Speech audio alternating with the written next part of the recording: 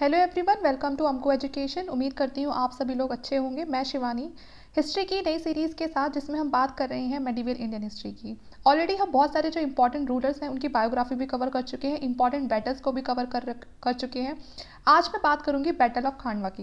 इससे पहले देखिए, मैं आपको बता चुकी हूँ कि किस तरह से जो बाबर था, वो इंडिया में घुसने की कोशिश कर रहा था और वो कामयाब भी हो जाता है, जो उसकी बैटल होती है लोधी डायनेस्टी के साथ। लेकिन साथ में इस समय जो राजपूत स्टेट होता है, वो भी काफ़ी ज़्यादा स्ट्रांग होता है और यहाँ पर होते हैं महाराणा संगा तो आज हम जानेंगे कि बाबर ने किस तरह से लोधी डायनेस्टी को हराने के बाद उनकी जो दूसरी बैटल होती है महाराणा संगा के साथ, क्या उसका रिज़ल्ट होता है, उसके बाद उसके क्या सिग्निफिकेंस आते हैं, हम एक एक करके सारी चीज़ें पढ़ेंगे। तो चलिए स्टार्ट करते हैं अपनी बैटल ऑफ़ खानवा को, जो हुई थी 1527 में। देखिए, सबसे पहले मैं आपको मैप दिखाती हूँ। उस समय का जो मैप था, जो लोधी डायनेस्टी का था जिसपे दिल्ली सल्तनत रूल कर रही थी, वो आपका सारा जो ये पिंक वाला पार्ट है, ये सारा वो एरिया था जिसपे लोधी डायनेस्टी रूल कर रही थी। और यहीं पर छोटा सा जो ये जगह है, यहाँ पर थे जो राजपूत का रूल चल रहा था। और जो बाबर होता है, वो इस साइड से इंडिया में इन्वेट करता है। तो यहाँ पर ये पिक्चर दी हुई है। ये उस समय जो इब्राहिम लोधी उनकी पिक्चर है और ये महाराणा संगा की पिक्चर है। महाराणा संगा की मैं पूरी बायोग्राफी ऑलरेडी पहले ही कवर कर चुकी हूँ, जिसमें मैंने आपको सब कुछ बताया था कि किस तरह से जो महाराणा संगा है, वो पूरा का पूरा जो ये स्टेट है, उसको मिला के रखते हैं और साथ में जो बाकी रूलर्स होते हैं कोशिश करते हैं जितने भी राजपूत क्लैन हैं, उनको यूनिटी में रखें। आगे चल के ये जो राणा संगा और जो इब्राहिम लोधी होता है, इन दोनों के बीच में हमेशा कुछ ना कुछ लड़ाई चलती रहती है, क्योंकि राणा संगा क्या चाहते थे? इस पूरी की पूरी जो लोधी डायनेस्टी के, इस दिल्ली सल्तनत को ख़त्म करना चाहते थे। तो यहाँ पर मैंने आपको छोटा सा ये बता दिया है कि किस तरह से अब जो ये पूरा जो ये पार्ट है, ये बाबर कंक्वायर कर लेगा और उसके बाद फिर लड़ाई होती है महाराणा संगा और बाबर के बीच में। देखिए बैटल ऑफ़ जो खानवा थी, ये आगरा से 60 किलोमीटर वेस्ट की साइड पर जब आप चलेंगे तो वहाँ पर आपको खानवा मिलेगा। और तभी 16 मार्च 1527 में ये जो बैटल है, ये लड़ी जाती है किसके बीच में? महाराणा संगा और बाबर के बीच में। इसमें जो बाबर थे, वो अपनी फोर्सेज को लेकर आते हैं, जो राणा संगा की जो कॉन्फिडरेसी होती है, वहाँ पर लेकर आते हैं उसको, और वो पूरे नॉर्दर्न इंडिया के लिए, क्या क्योंकि जो बाबर थे, वो भी क्या चाहता था? पूरी जो नॉर्दर्न इंडिया है, उसके ऊपर अपनी सुप्रीमेसी चाहता था, और ये क्या चाहते थे? राणा संगा चाहते थे। जो ये बैटल है, हम कहेंगे बहुत ही डिसिसिव बैटल थी ये मुगल कॉन्क्वेस्ट की, जब उन्होंने पूरे नॉर्दर्न इंडिया को ऑक्यूपाई करा। क्योंकि ये उनके लिए भी आसान नहीं था, जो मुगल्स थे, और ना ये राजपूतों के लिए आसान था। एक बहुत ही बड़ी बैटल होती है, ठीक है? उसमें काफ़ी सारे लोग मारे जाते हैं, बहुत खून खराबा होता है। उसके बाद जाके जो नॉर्दर्न इंडिया है, वो जब जाके मुगलों को मिलता है, क्योंकि जो राजपूत लीडर थे, वो भी बहुत ज़्यादा गौरवशाली थे। हमने लास्ट लेक्चर में भी देखा है कि किस तरह से वो बहुत ही, हम कहेंगे ब्रेवरी के साथ सारी बैटल्स को लड़ा करते थे। और जो महाराणा संघा है, मैंने आपको बताया भी था इनके बारे में कि ये अपनी लाइफ में हंड्रेड बैटल्स को लड़ते हैं। जिसमें से 99 बैटल्स को ये जीतते हैं, सिर्फ़ एक ही बैटल हारते हैं और वो होती है बैटल ऑफ़ खांडवा ठीक है?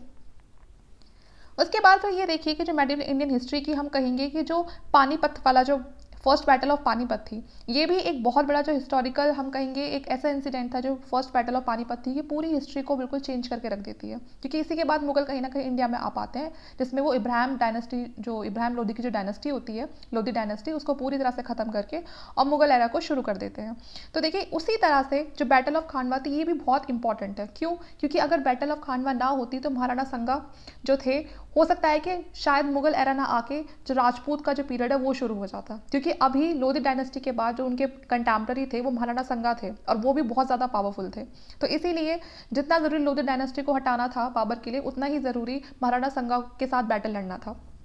और इसका रिज़ल्ट होता भी यही है कि वो जो मेवाड़ किंगडम होता है, वहाँ के रूलर मैंने आपको बता दिया कि राणा संगा होते हैं, ठीक है? और बहुत ही स्ट्रॉन्गेस्ट पावर होती है इनकी भी, अपने जो, इनका जो राजपूत स्टेट होता है उसमें, किस तरह से लोग इनकी बहुत ज़्यादा रिस्पेक्ट करते थे, जुड़ने की कोशिश करते थे इनसे, वो मैं सब कुछ इनकी बायोग्राफी में बता चुकी हूँ। तो ये भी बेसिकली क्या चाहते थे कि जो पूरा नॉर्दर्न इंडिया है, उसको राजपूत स्टेट्स में मिला लें। उसके बाद ये देखिए जो मैप है, इस मैप से आपको पता चल रहा होगा। इस मैप में मैं आपको दिखा देती हूँ। उस समय जो पूरा जो राजपूत स्टेट था, ये जो आपको दिख रहा है, ये इतना राजपूत स्टेट था, ठीक है? ये पूरा दिल्ली सल्तनत था, जो उस टाइम पर लोधी डायनेस्टी के अंडर आता था, और ये पूरा डोमेन था बाबर का। तो यहीं से बाबर आता है काबुल से होता हुआ आता है, और लाहौर वगैरह पर अटैक करके, और फिर वो दिल्ली तक पहुँच जाता। है ये पिक्चर है महाराणा संघा की। मैंने आपको उनकी बायोग्राफी में बताया था कि इनकी एक आँख नहीं थी, एक हाथ नहीं था। लेकिन उसके बाद भी हम कहेंगे इतने ब्रेव रूलर थे, इतनी, अपनी जितनी भी बैटल्स हैं, उनको इतनी ब्रेवरी के साथ लड़ाए इन्होंने कि सिर्फ़ एक ही बैटल को हारते हैं। उसके बाद है कि जो विक्ट्री थी, मुगल फोर्सेस की, हम कहेंगे ये जीत तो गए थे, लेकिन ऐसा नहीं था कि इसमें जो मुगल फोर्सेस उनका कोई नुकसान नहीं हुआ था। बैटल बहुत ज़्यादा, हम कहेंगे डेसिसिव बैटल थी, जिसमें दोनों साइड से अच्छा खासा नुकसान होता है, लेकिन उसके बावजूद भी जो बाबर बाबर होता है, वो अपनी पावर को, अपनी टेक्निक्स को बहुत ही अच्छे से कंसोलिडेट करके चलता है। जैसे कि हम सभी जानते हैं, जो बाबर के डिसेंडेंट थे, वो भी इंडिया में आके यहाँ पर काफ़ी बार आते हैं, वो ठीक है लूट मार करते हैं, ठीक है। तो लेकिन अब जो बाबर था, वो यहाँ पर हमेशा के लिए अपनी जो पावर है, उसको स्टैब्लिश करना चाहता था। तो ये जो पावर होती, जो ये बैटल होती है, जो बैटल ऑफ़ खानवा होती है, ठीक है, इसमें होता क्या है? जो बाबर है वो जीत जाते जैसे कि मैंने आपको बताया, लेकिन बाबर यहाँ पर जीतता है क्योंकि जो महाराणा संगा होते हैं, उनके साथ काफ़ी बार यहाँ धोखा हो जाता है। और वो धोखा किस तरह से होता है? क्योंकि बहुत सारे इनके जो पहले इनके साथ होते हैं, महाराणा महाराणा संगा के साथ होते हैं, वो बाद में किसकी तरफ़ पहुँच जाते हैं? वो बाबर की तरफ़ पहुँच जाते हैं। तो एक एक करके हम सारी चीज़ें देखेंगे। फिर देखिए, अगर मैं इसके बैकग्राउंड की बात करूँ कि इस बैटल का बैकग्राउंड क्या था? तो जैसे कि मैंने आपको पहले भी बताया था, जब मैंने आपको पानीपत का जो युद्ध है, उसके बारे में बताया था कि फ़र्स्ट बैटल ऑफ़ पानीपत, अगर आपने नहीं देखी है तो हमारे चैनल पर आपको वो सारी वीडियो मिल जाएँगी, जो भी इंपॉर्टेंट बैटल्स हुई हैं, उनमें मैंने फ़र्स्ट बैटल ऑफ़ पानीपत को भी कवर किया है तो आप वो देख सकते हैं। तो इसमें मैंने आपको उस समय बताया था कि जो बाबर था, वो जो तैमूर और चंगेज़ खान था, ठीक है ना? उन्हीं की फैमिली से मतलब उन्हीं की आगे की जनरेशन थी बाबर की। जो बाबर के फादर थे वो बिलोंग करते थे तैमूर जो फैमिली थी उससे और जो मदर थी वो चंगेज़ खान की फैमिली से बिलोंग करती थी। तो इनका तो ब्लड ही हम कहेंगे कि पहले से ही क्योंकि आपको पता है तैमूर और चंगेज़ खान है वो बार बार इंडिया में अटैक करने की कोशिश करते हैं और हम कह सकते हैं कि उस समय के बहुत ही वो बहुत ही पावरफुल रूलर्स थे वो भी ठीक है ना? Until 1524, he was aiming to expand his rule in the Punjab region, but certain events led to him expanding far beyond the original confines of a Timur on vice trial देखिए, होता क्या है, उस समय जो तैमूर वगैरह होता है, वो भी कोशिश करते हैं इंडिया में इन्वेट करने की। लेकिन कोई ना कोई चीज़ उनको रोक देती है और खासकर उनका इतना मन भी नहीं था कि वो इंडिया को मतलब इन्वेट करते थे, लूटमार करते थे, लेकिन ये नहीं था। उनका कि यहाँ पर इस्टेब्लिश होने वाला उनका कोई ऐसा कुछ खास उनका मन नहीं था। लेकिन जो बाबर होता है, वो आता ही इसलिए है कि यहाँ पर उसको इस्टेब्लिश होना है। जैसे ही दिल्ली सल्तनत पूरी तरह से वो डिक्लाइन होने लगती है लोधी डायनेस्टी के अंदर, बहुत ज़्यादा हम कहेंगे फ्रेश अपॉर्चुनिटीज़ मिलने लग जाती हैं लड़ाई झगड़े की। देखिए, जैसे ही कोई भी जो एम्पायर होता है वो वीक होता है तो आसपास के रूलर को क्या लगता है कि इनको जल्दी से यहाँ से, इनको यहाँ से भगाएँ, है ना? और वो क्या करते हैं, जो वीक रूलर होते हैं उनको या तो मार देते हैं या उनको हटा देते हैं, उनसे कुछ ना कुछ अटैक वटैक करके उनके ऊपर और उनको हटा देते हैं। तो यहाँ पर यही हुआ था जब लोधी डायनेस्टी थी, वो अपने आखिरी टाइम पे डिक्लाइन होने लगी थी वीक पड़ने लगी थी तो जो बाकी लोग थे, उनको एक रीज़न मिल गया था कि अब ये तो पावरफुल रही नहीं है, हैं, और उनको कहीं ना कहीं अब इस बात का चांस मिल गया कि अब हम यहाँ पर इन पर अटैक करके, क्योंकि वीक तो है ही, हम यहाँ पर अपना जो रूल है, वो स्टैब्लिश कर सकते हैं। और सबसे ज़्यादा जो लोधी डायनेस्टी में उस समय रूल चल रहा था, इब्राहिम लोधी का। और इब्राहिम लोधी से कोई परेशान हो ना हो, लेकिन सबसे ज़्यादा परेशान उनका जो खुद के चाचा थे, दौलत खान लोधी, वही परेशान थे। तो जो दौलत खान लोधी होते हैं, वो इन्वाइट करते हैं बाबर को कि आप यहाँ पर आइए और इंडिया को सॉरी दिल्ली को इन्वेट कीजिए। ठीक है? और सेम यही जो प्रपोजल होता है, ये राणा संगा भी भेजता है बाबर के पास। वो भी एक लेटर लिखते हैं बाबर को कि वो यहाँ पर आए, है ना, हमारे साथ अलायंस करे और दिल्ली पर अटैक करे। ठीक है? और टाटा संगा थे, जैसे मैंने आपको बता दिया, वो उन्होंने क्या कहा था कि जैसे ही उन्होंने बाबर से कहा कि जब आप दिल्ली को इन्वेट करोगे तो उसी समय जो राजपूत जो लोग थे मतलब जो हम हैं, वो आगरा पर अटैक कर देंगे, ठीक है? ये राणा संगा ने कहा कि हम आगरा पर अटैक कर देंगे और आप दिल्ली पे करोगे तो इससे क्या होगा? जो पूरा जो दिल्ली सल्तनत है, जो लोधी डायनेस्टी है, इब्राहिम लोधी है, वो बहुत ज़्यादा वीक पड़ जाएगा, क्योंकि दोनों साइड से उस पर अटैक हो गया और उस समय सबसे ज़्यादा इंपॉर्टेंट दो ही जगह थी उसके लिए एक दिल्ली और एक आगरा।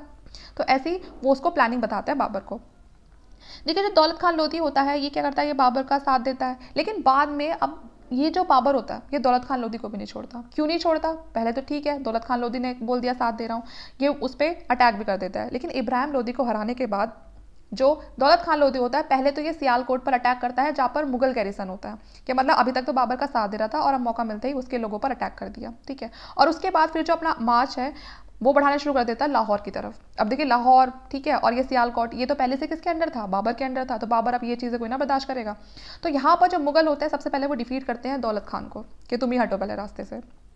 उसके बाद जो बाबर होता है, वो डिस्ट्रॉय कर देता है। उसकी तो मैंने बताई दिया आपको इब्राहिम लोधी की जो आर्मी होती है, उसको डिस्ट्रॉय कर देता है पहली फ़र्स्ट बैटल ऑफ़ पानीपत पे, ठीक है ना? पानीपत मैंने आपको बताया था कि आपका हरियाणा में है, ठीक है? तो twenty first April fifteen twenty six को जो ये बैटल है, ये लड़ी जाती है और कहीं ना कहीं यही आगे चल के लीड करती है पूरी मुगल एम्पायर को नॉर्दर्न इंडिया में। तो इस तरह से जो पूरा जो मुगल एरा था, वो स्टार्ट होता है जब वो लोधी डायनेस्टी को हरा देता है। लेकिन उससे पहले जो इंपॉर्टेंट बैटल है, जिसके लिए हमने बेसिकली ये लेक्चर बनाया है, हम उसके बारे में जानेंगे। तो राणा संगा को क्या लगता था कि जैसे बाकी जो लोग बाहर के, जो बाहर के जो लोग थे, जो फॉरनर्स थे, वो अगर इंडिया में आते थे तो वो क्या करते थे? जो दिल्ली का खजाना, उसको लूट के ले जाते थे। तो राणा संगा को भी ये लगता है कि बाबर आएगा, क्योंकि राणा संगा ने तो इन्वाइट किया था बाबर को कि बाबर आएगा और दिल्ली को लूटेगा, जो दिल्ली का खजाना, और वापस से कहाँ पहुँच जाएगा? काबुल में, क्योंकि उसकी तो काबुल में पहले से चल रहा था सब कुछ। लेकिन होता क्या है, यहाँ कुछ और ही हो जाता है। राणा संगा पहले तो बोल देते हैं उसको कि ठीक है, तुम दिल्ली पर अटैक करो, मैं आगरा पे करूँगा। लेकिन होता क्या है, बाबर मन बना लेता है इंडिया में स्टे करने का, कि मैं तो इंडिया में ही रुकूँगा। अब राणा संगा क्या करते हैं, अब बाबर को हटाने के लिए दूसरे जो राजपूत होते हैं, उनके साथ क्या बनाते हैं अलायंस कर लेते हैं कि हम मिलकर किसको हटाएँगे, बाबर को हटाएँगे। तो देखिए, अभी तक जो लोधी डायनेस्टी थी। वो अफगानी मुस्लिम थे। लेकिन जो बाबर है, ये तुर्की थे, ठीक है? तो यहाँ पर पहले से कुछ जगह पे क्या कर रहे थे? मुस्लिम रूल कर रहे थे। और वो जो मुस्लिम यहाँ पर रूल कर रहे थे, वो क्या, किसके दुश्मन होते हैं? वो बाबर के दुश्मन होते हैं। वो बाबर को पसंद नहीं करते हैं, क्योंकि वो अफगान के थे और यहाँ पर जो बाबर है, वो तुर्की था। तो राणा संघा क्या करते हैं? उन मुस्लिम्स के साथ अलायंस कर लेते हैं कि हम मिलकर किसको हटाएँगे बाबर को हटाएँगे, ठीक है? तो उनका मेन ऑब्जेक्टिव ऑब्जेक्टिव उनका यही होता है महाराणा संघा का कि बाबर को हमें यहाँ से इंडिया से बाहर निकाल देना है और अफ़गानिस्तान तक हमें मतलब इसे भारी रखना है। जो अफ़गानिस्तान में अपना जो काबुल है, वहाँ पर रूल करें। यहाँ इंडिया में आने की कोशिश ना करें। अब जो राणा संघा होते हैं, वो डिसाइड कर लेते हैं कि ठीक है हाँ ऐसा ही करेंगे। अभी तक जो उनकी प्लानिंग है, अब वो उसको एग्जीक्यूट करने के लिए मतलब कोशिश करते हैं। सबसे पहले वो सपोर्ट करते हैं मेवात के राजा हसन होते हैं। राजा हसन खान, उनको वो अपने सपोर्ट में लेते हैं, क्योंकि ये दुश्मन होता है किसका ये बिल्कुल पसंद नहीं करता था बाबर को। तो राणा संघा इन्हीं के पास, उन्हीं को सपोर्ट देते हैं। फिर राजा हसन क्या थे? एक मुस्लिम राजपूत लीडर थे, जो कि म्यू मुस्लिम क्लान से बिलोंग करते थे। और जो बाबर था, वो उनका बहुत बड़ा ओपोनेंट था। जैसे कि मैंने आपको बताया कि बाबर से इनकी बड़ी दुश्मनी थी, जब मेवात के राजा हसन थे। ठीक है? और बाबर भी इनका बड़ा अच्छा खासा दुश्मन था। तो महमूद लोधी और सिकंदर लोधी ठीक है? ये किसके थे? ये लोधी डायनेस्टी के अभी जो बचे हैं, ठीक है? इब्राहिम लोधी के लोधी के जो रिश्तेदार हैं, वो जो बचे हैं। तो अब भाई बाबर ने लोधी डायनेस्टी पर अटैक करा, इब्राहिम लोधी को मार दिया। तो अब भाई उसके जो रिश्तेदार हैं, वो बाबर को, वो कोई ना करेंगे बाबा कोई ना करेंगे उसकी, ठीक है? तो इसीलिए ये जो अब महाराणा संगा होते हैं, ये इस बात का फ़ायदा उठाते हैं। बाबर के जितने भी दुश्मन होते हैं, उनको इकट्ठा कर लेते हैं और सबको अपनी साइड कर लेते हैं कि अब मिलकर किस पे अटैक करेंगे? बाबर पर अटैक करेंगे, ठीक है? अब देखिए, एक इंसान होता है, राणा सिलहदी, ठीक है? रायसेन का होता है। ये राणा संगा और बाबर के बीच में क्या कर देता है? एक मतलब उनके बीच में एक डील हुई होती है पहले से, कि बाबर क्या बोलता है कि मतलब जो राणा संगा होता है, वो बाबर से ना डिमांड करता है कि आप मुझे आगरा दे दो, ठीक है? तो फिर मैं मतलब ये अटैक वटैक मैं नहीं करूँगा। लेकिन जो बाबर होता है, वो रिफ्यूज़ कर देता है राणा संगा की डिमांड को, ठीक है? और यही सुन के जो महाराणा संगा होते हैं, वो अपने साथ 80 हिंदुओं को लेके मतलब काफ़ी बड़ी आर्मी को लेके 1527 में और प्लान करते हैं बाबर को, के साथ अटैक करने का। मतलब बाबर के साथ नहीं, बाबर पर अटैक करने का, ठीक है? 1527 में पूरी प्लानिंग कर लेते हैं कि भाई अब इस बाबर पर अटैक करना है, ये आगरा भी नहीं दे रहा है हमें, ठीक है? अब इससे क्या होता है, जो मुगल लीडर होते हैं, वो सारे के सारे जो मुस्लिम सोल्जर वगैरह होते हैं, उन सबको तैयार कर लेता है वो बैटल वगैरह लड़ने के लिए, ठीक है? अब देखिए, जो राजा हसन होते हैं, वो क्या करते हैं? मैंने तो बताया था आपको, जो राजा हसन है, वो किसके साथ मिल गए थे?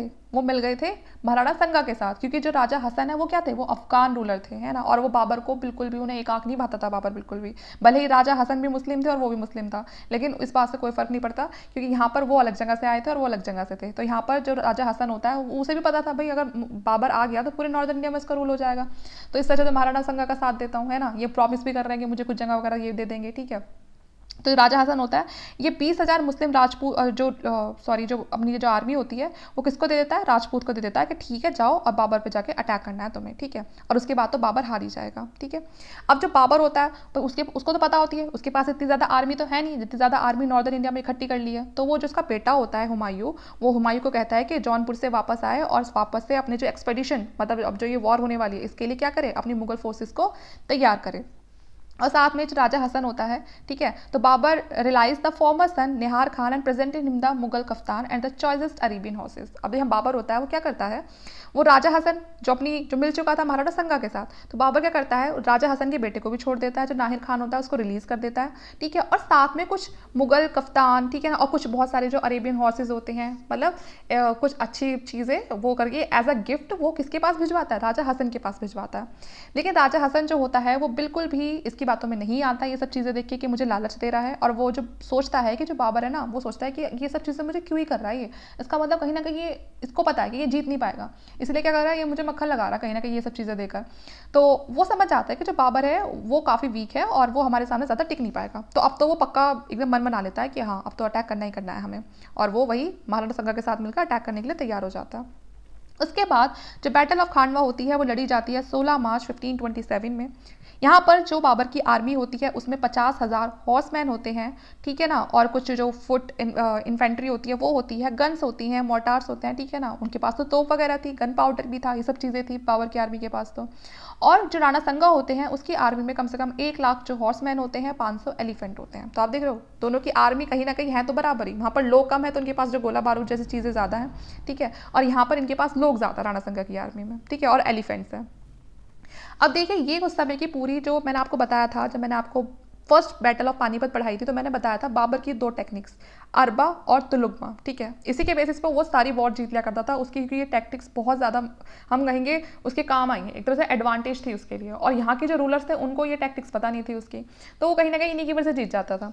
अब यहाँ पर मैं आपको समझाने की कोशिश करती हूँ। देखिए, ये जो आर्मी है, ये है राजपूत की आर्मी ठीक है? इधर है बाबर की आर्मी तो बाबर क्या करता था, यहाँ पर ये सबसे पहले जो हॉर्सेज हैं, उनको इस तरह से खड़ा कर लिया करता था ऐसे, ठीक है?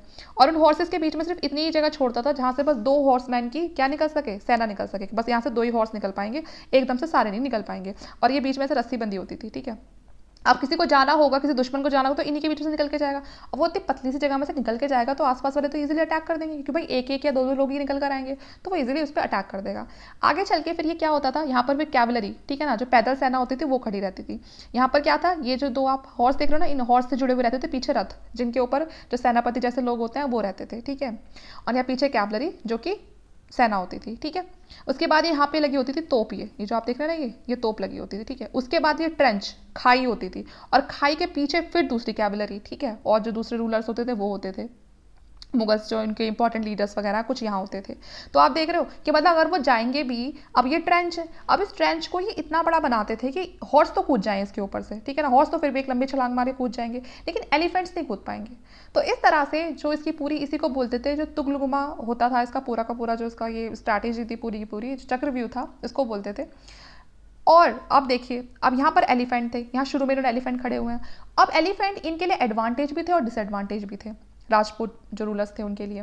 क्यों एडवांटेज थे? क्योंकि भी हाथी है। हाथी तो अपने आप में अब तक बहुत अच्छे लड़ते आ रहे थे। लेकिन जैसे ये बाबर आता है, ये लेकर आता है बड़ी बड़ी तोप। तोप करते हैं बहुत ज़्यादा आवाज़। तो जैसे कि इन तोप का यूज़ करता था, बहुत ज़्यादा आवाज़ होती थी और उन आवाज़ से जो हाथी थे, ये एकदम से ना डिस्टर्ब हो जाते थे, परेशान हो जाते थे बहुत ज़्यादा।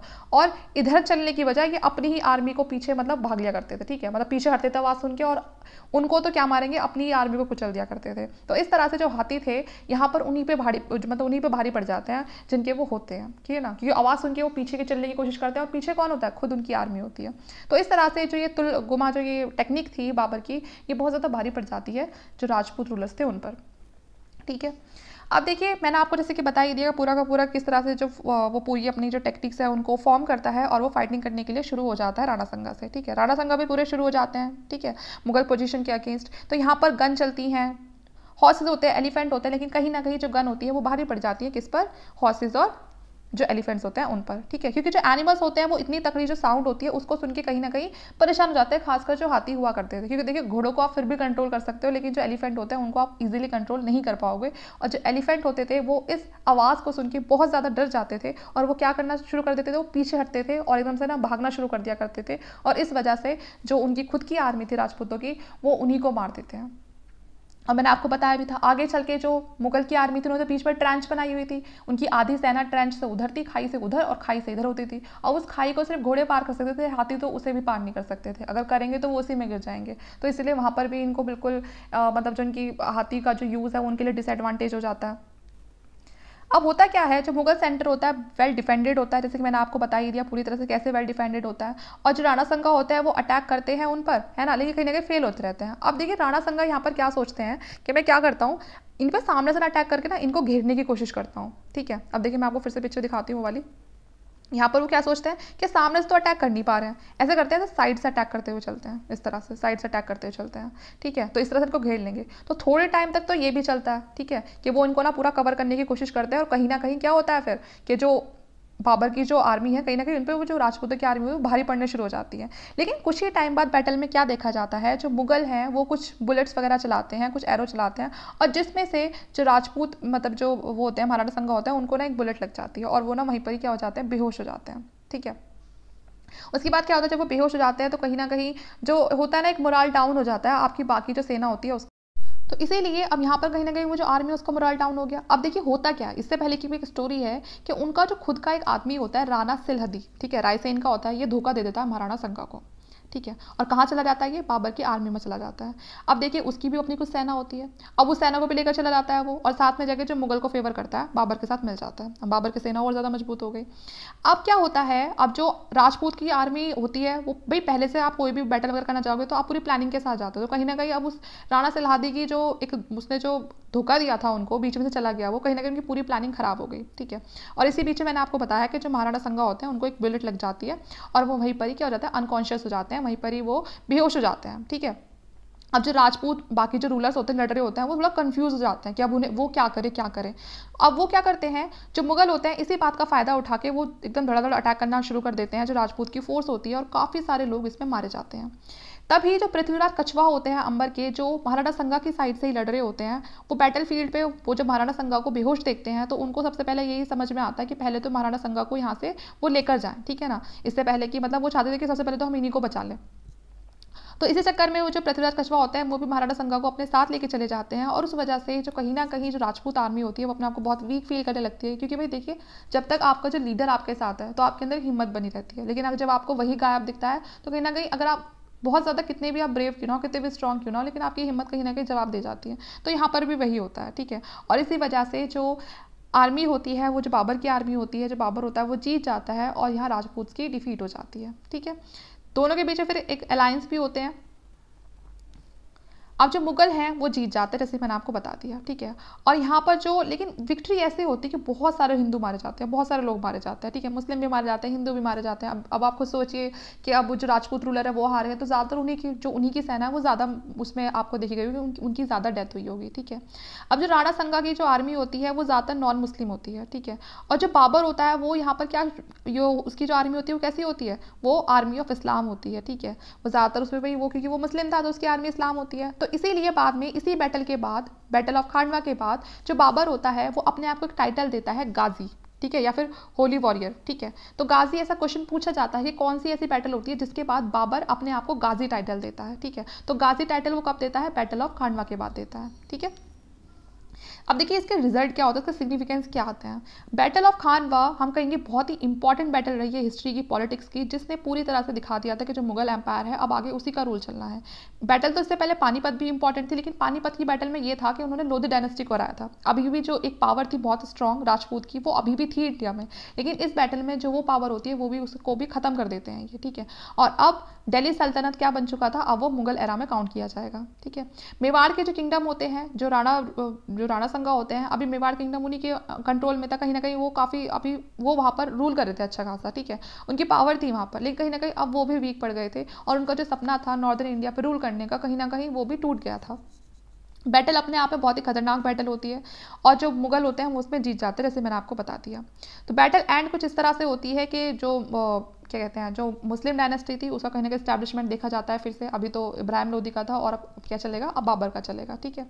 ये आपको मैंने पूरा का पूरा ये एरिया इसमें दिखाने की कोशिश करी, किस तरह से जो काबुल था, वो तो था ही पहले से, ठीक है? ये इतना ही तो पहले से उसका था, बाबर का। अब पूरा का पूरा है, वो धीरे धीरे इस पर ऐसे ऑक्यूपाई करेगा धीरे धीरे जो मुगल एम्पायर है, उसकी ग्रोथ होगी और यहाँ पर जो राजपूत स्टेट था, वो काफ़ी ज़्यादा छोटा सा रह गया था, ठीक है?